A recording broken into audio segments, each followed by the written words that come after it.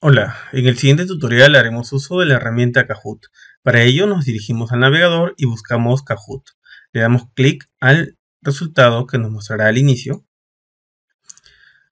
Observamos que esta vista nos muestra dos opciones. En este caso vamos a agregar un pin y presionar Enter, pero esto será revisado posteriormente.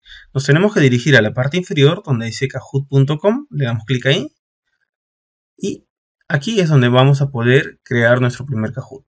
Para ello nos vamos a Sign Up en el caso de que no hayamos creado una cuenta anteriormente y en el caso de que yo ya ah, pueda haberme registrado, pongo Login. Me solicitará ingresar con una cuenta, obviamente si yo la registré, o también en este caso con la cuenta de correo electrónico que tenga. Selecciono mi cuenta y espero unos segundos a que cargue. Ahora que ya cargó, puedo dirigirme a la parte superior y presionar Create. Selecciono un nuevo Kahoot. Si de repente tengo alguna dificultad por el idioma, puedo presionar el clic derecho y seleccionar Traducir español. A partir de ese momento muchas de las opciones han pasado a español, sin embargo algunas que son propias de la herramienta no han cambiado. Vamos a iniciar haciendo algunas configuraciones.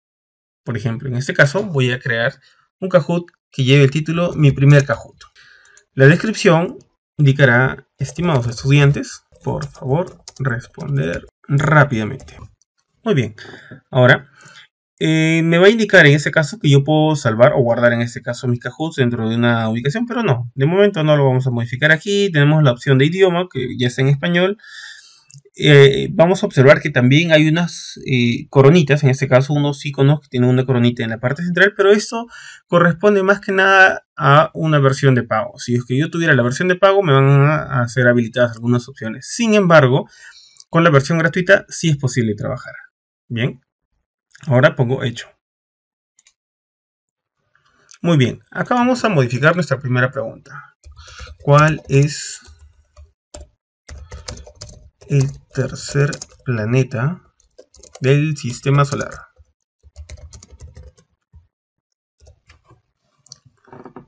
Tenemos la posibilidad de modificar el tiempo. En este caso 20 segundos me parece mucho. Mm, considero que le podría poner 10 segundos de repente. ¿Cuántos puntos le puedo dar por responder la pregunta? Vamos a dejarlo en 1000 y tenemos acá algunas opciones más. En este caso, si yo deseo darle una imagen referencial, lo puedo hacer partiendo de la biblioteca de imágenes de Kahoot, que tiene algunas imágenes, pero es recomendable que yo mismo cargue mi propia imagen, ya que me da la posibilidad de seleccionar el tipo de imagen, las características que yo quiero que tenga, o que de repente devele alguna información. En este caso, pongo cargar imagen y voy a seleccionar la del sistema solar. Esperamos a que cargue.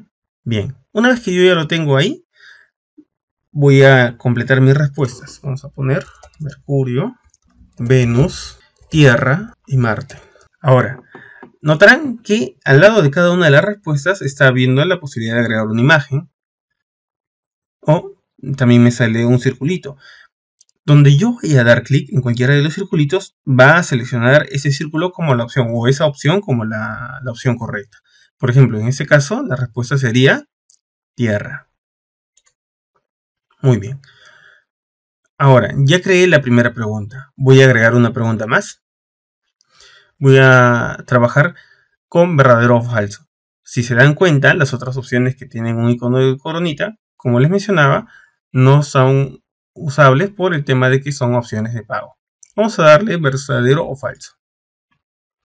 Muy bien. Aquí le vamos a poner otra pregunta. Muy bien. Nuevamente acá le podemos cambiar a 10. Y la pregunta obviamente va a variar. No es necesario que se haga referencia a la primera. Nuevamente puedo cargar una imagen.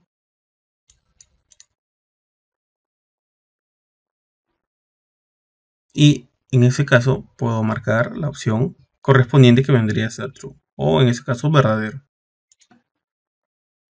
Bien.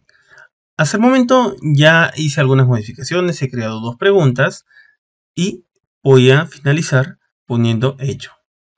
O en, la, en este caso la opción de done, si está apareciendo en inglés.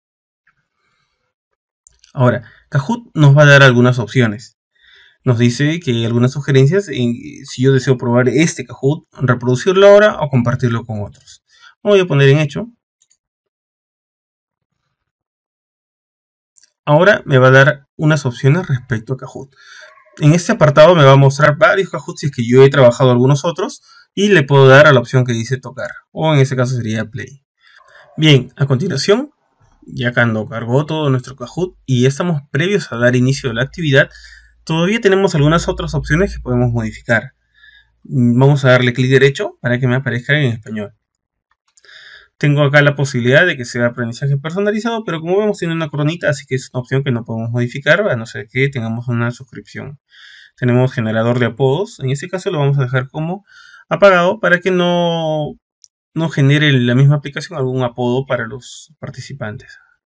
Obviamente cuando yo ingreso como estudiante tengo que generar mi nombre ahí para que pueda registrar el docente que yo estoy participando. Acá tengo la posibilidad de agregar eh, música, en este caso que dice música de lobby, para el momento en el que están en espera antes de iniciar el, eh, uso de Kahoot.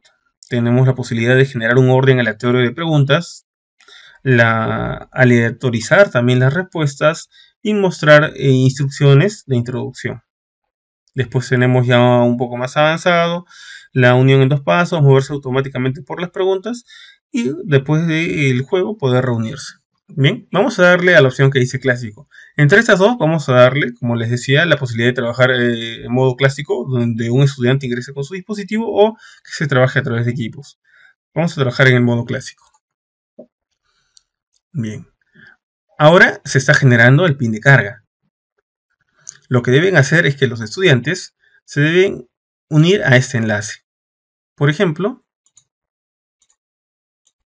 yo lo voy a hacer otra ventana del navegador y si el estudiante se une, lo va a hacer en esta página. Vamos a ingresar y ponemos Kahoot. Una vez que ya cargó la ventana donde podemos ingresar nuestro Kahoot, en este caso el código yo como estudiante, este código que me facilitaron a mí como docente se lo comparto y ellos podrán ingresar presionando Enter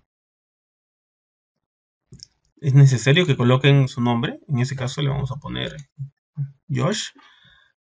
Y ya me aparece a mí como docente la posibilidad de que pueda ver quiénes se han conectado. Si ya tengo a todo el grupo de estudiantes que va a participar, le doy clic a donde dice comienzo.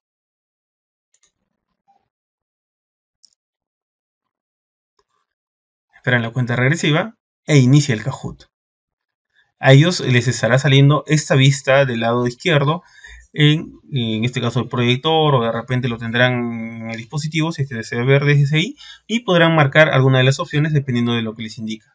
Se me acabó el tiempo muy rápido por lo que estaba explicando, por eso es que no pude marcar. Bien, y así continúa. En este caso, si yo obviamente no marqué la opción, yo como estudiante no marqué la opción correcta, me sale como una X y no queda registrado. Vamos con el caso de verdadero o falso. La Tierra es el tercer planeta de verdadero. ¿Qué, qué selecciono? ¿Verdadero o falso? Entonces le vamos a poner verdadero. Muy bien, quedó registrado y me indica que es correcto. Y así es como se hace uso de la herramienta Kahoot. Muchas gracias.